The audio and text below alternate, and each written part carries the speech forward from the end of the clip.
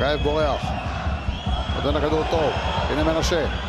נעצר אצל צ'וצ'לי, לפני עבירה, כדור חופשי, 22 מטר מן השער. וזה מסוכן, כי גלוון יודע להפקיע מהמצבים האלה.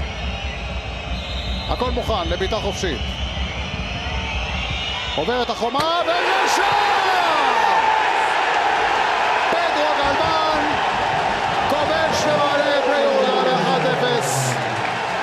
זה כאילו היה כתוב בספר, כתוב מראש. וזה מוכיח שוב שכשהחומה עומדת במרחק נכון ומאפשרת לבעוט, אפשר לכבוש. כשהחומה עומדת שישה מטר מהכדור, אי אפשר לכבוש.